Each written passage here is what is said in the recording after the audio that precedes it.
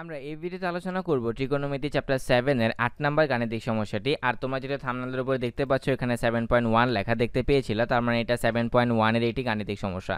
আমাদের আজকে সমাধান করতে বলা হয়েছে সাইন থিটা সমান ফাইভ বাই থার্টিন এবং থিটা যদি পাই বাই টু এর চেয়ে বড় কিন্তু পায়ের চেয়ে ছোট হয়, তাহলে আমাদেরকে দেখাতে বলা হয়েছে tan theta plus sec into minus theta divided by cot theta plus cosec into minus theta সমান থ্রি বাই টেন এখন এই শর্তটা কিন্তু তোমাদের আগে বুঝতে হবে ম্যাথটা স্টার্ট করার আগে। এই শর্তটার মানে কি?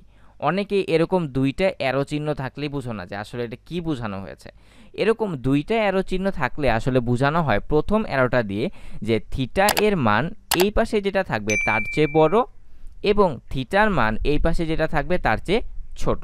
তাহলে আমরা বুঝতে পারলাম এখানে থিটার মান নাইনটি ডিগ্রির চেয়ে বড়, একশো আশি ডিগ্রির চেয়ে ছোট। তো আমাদের এই জিনিসটা বুঝতে হলে আমাদের এই চতুর্ভাগে চলে যেতে হবে। তো আমরা একটু চতুর্ভাগের মাধ্যমে বুঝি যে আসলে এই জিনিসটা কি বলা হয়েছে। তো থিটার মান যেহেতু নাইনটি ডিগ্রির চেয়ে বড়, এর মানে হলো এইখান থেকে জিনিসটা শুরু হবে। তো নাইনটি ডিগ্রির চেয়ে যদি বড় হয় তাহলে অবভিয়াসলি এই ঘরে। আর একশো আশি ডিগ্রির চেয়ে একশো আশি ডিগ্রির চেয়ে ছোট। তো আমরা জানি যে এইখান থেকে পুরো এই পর্যন্ত হলো একশো আশি ডিগ্রি। তো নাইনটি ডিগ্রির চেয়ে যদি বড় হয়, তার মানে এই ঘর ক্রস করে ফেলেছে সে। আর একশো ডিগ্রি চেয়ে যদি ছোট হয়, তার মানে আমরা এই তৃতীয় চতুর্ভাগে যেতে পারব না। তার মানে এই ঘরের কোনো একটা জায়গায়। এখন এই ঘরে কে পজিটিভ এই ঘরে হচ্ছে সাইন থিটা এবং কসেক থিটা পজিটিভ বাকি সবগুলো কি? নেগেটিভ তো এটাই হচ্ছে বুঝার জিনিস। এরপরে আমরা আগাতে পারি যে পরের স্টেপে আমরা কী কী কাজ করব। জাস্ট এতটুকু তোমাদের মনে থাকলেই হবে। তো আমাদের এখানে দেয়া ছিল সাইন থিটা সমান ফাইভ বাই থার্টিন মানে আমাদের দেয়া আছে এই শর্তটা আমরা আগে লিখলাম। এখন এই শর্ত অনুযায়ী আমরা কি বুঝতে পারলাম?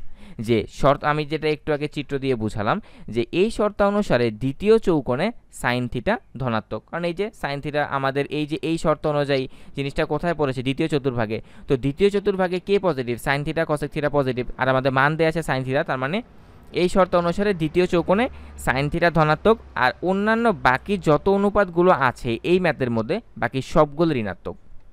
আচ্ছা তো সাইন থিটা সমান যদি ফাইভ বাই থার্টিন হয়, তাহলে আমরা এটাকে একটু চিত্রের মাধ্যমে যদি প্রকাশ করি, তাহলে জিনিসটা এরকম হচ্ছে যে সাগর লবণতি লম্ব হচ্ছে ফাইভ ডিভাইডেড বাই অতিভুজটা থার্টিন আর ভূমিটা আমরা পিথাগোরাসের মাধ্যমে এখন সমাধান করে বের করব। তাহলে আমরা পিথাগোরাসের উপপাদ্য অনুযায়ী কি বলতে পারি? এসি স্কোয়ার সমান AB square plus BC square. এখন এখান থেকে আমাদের ছোট্ট একটু চেঞ্জ করা লাগবে। সেটা হচ্ছে বিসি স্কোয়ার সমান AC square minus AB square, কারণ আমরা তো ভূমির মানটা নির্ণয় করতে চাচ্ছি। তাহলে আমরা তাহলে এখান থেকে সাইড চেঞ্জ যদি করি, তাহলে বিসি স্কোয়ার সমান AC square minus AB square হবে। এখন আমাদের এসির মান কত দেয়া আছে? থার্টিন। আর এবির মান কত দেয়া আছে? ফাইভ তাহলে thirteen whole square minus five whole square জিনিসটা কী হবে? One sixty nine minus twenty five এখন একশো উনসত্তর থেকে পঁচিশ বাদ দিলে আমাদের কি থাকে? যেটা থাক মানে একশো চুয়াল্লিশ থাকে, আর একশো চুয়াল্লিশকে যদি আমরা স্কোয়ার স্কোয়ারের পাশে দিয়ে দিই, তাহলে রুট করলে হয় টুয়েলভ তার মানে আমরা বিসির মানটা পেয়ে গেলাম কি? টুয়েলভ এখন আমাদের আলটিমেটলি ডেস্টিনেশনটা হচ্ছে এই লেফট হ্যান্ড সাইড থেকে এই রাইট হ্যান্ড সাইডটা প্রমাণ করা। এখন আমাদের লেফট হ্যান্ড সাইড যদি আমরা মান বসাতে চাই তাহলে আমাদের কি কি মানের প্রয়োজন? টেন থিটার মান প্রয়োজন সেক থিটার মান প্রয়োজন কট থিটার মান প্রয়োজন কসেক থিটার মান প্রয়োজন। যেখানে আমাদের সেক সাইন থিটার মান দেয়া আছে, তাহলে আমাদের কসেক থিটার মান আমরা খুব ইজিলি বের জানি। আর এরপরে আমাদের কি লাগবে? টেন থিটার মান লাগবে সেক থিটার মান লাগবে, আর কট থিটার মান লাগবে। এখন যেহেতু আমরা এই সমকোণী ত্রিভুজটার প্রত্যেকটা বাহুরি মান পেয়ে গেছি, তাহলে আমরা খুব ইজিলি প্রত্যেকটার মান বের করতে পারি। তাহলে আমরা কি লিখতে পারি? টেন থিটা টেরা লম্বা ফুট লম্ব বাই ভূমি, তাহলে লম্ব এখানে কত? ফাইভ বাই টুয়েলভ আর যেহেতু এখানে আগে বলে দিয়েছিলাম যে অন্যান্য বাকি সব অনুপাতগুলো হবে ঋণাত্মক, তার মানে টেন থিটার মান হবে ঋণাত্মক।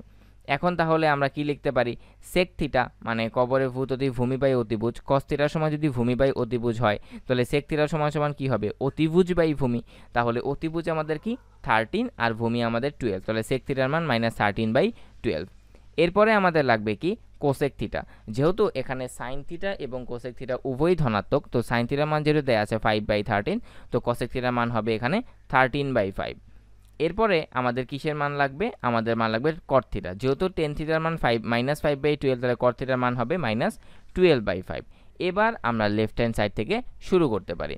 তো লেফট হ্যান্ড সাইডে শুরু করার আগে আমাদের ছোটোটা কাজ করতে হবে, সেটা এখানে ত্রিকোণমিতিক অনুপাতে যে মাইনাসটা আছে, এখানে এগুলো উঠিয়ে ফেলতে হবে। তো আমরা জানি সেক মাইনাস থিটা সমান সেক থিটা আর কোসেক মাইনাস থিটা সমান মাইনাস কোসেক থিটা তাহলে প্লাসে মাইনাসে মাইনাস আর হচ্ছে কোসেক থিটা এখন আমাদের যেই মানগুলো আমরা পেয়েছিলাম, সেই মানগুলো আমরা বসালাম, এরপরে আমরা লসাগু করার জন্য স্টার্ট করলাম, লসাগু করলাম এরপরে আমরা জানি যে এরকম ভগ্নাংশ থাকলে আমাদের কি করতে হয়? উপরেরটা যেটা আছে সেটাই লিখতে হয় আর এই নিচেরটা গুণ আকারে দিয়ে উল্টিয়ে দিতে হয়। তাহলে minus five by twenty five এখন আমরা যদি মাইনাসে মাইনাসে এখন আমরা কি করলাম? একটু কাটাকাটি করে ক্যালকুলেশন করলাম থ্রি বাই টেন আর যেটা আমাদেরকে রাইট হ্যান্ড সাইডে বলা হয়েছিল। এখন যারা এতক্ষণ বসে বসে এই নোটটা এই অঙ্কটা পুরোটা নোট করলে তোমাদের কোনো নোট করার প্রয়োজন নাই। তোমাদের জন্য আছে আমাদের শিক্ষাঙ্গন বিডি স্মার্ট পিডিএফ যেটা তোমাদের কাছে থাকলে তোমাদের কোনো গাইড বই, তোমাদের কোনো টিউটর তোমাদের কোনো বই কিচ্ছু প্রয়োজন নাই। তো ওইটা হচ্ছে একটা স্মার্ট নোট খাতা। আর যেহেতু এখানে স্মার্ট বলেছি, তো এখানে অবশ্যই স্মার্ট টেকনোলজি কিছু একটা ইউজ করা হয়েছে। আর আমাদের এই পিডিএফটা কীভাবে কাজ করে এবং তোমরা কীভাবে সংগ্রহ করবে, তার একটা ডেমো ভিডিও রিভিউ ভিডিও করা আছে। সেটার লিঙ্ক আমি আই বাটনে দিয়ে দিলাম। ভিডিওটি দেখে নিও, যদি পিডিএফটা সংগ্রহ করতে চাও। আল্লাহ হাফেজ।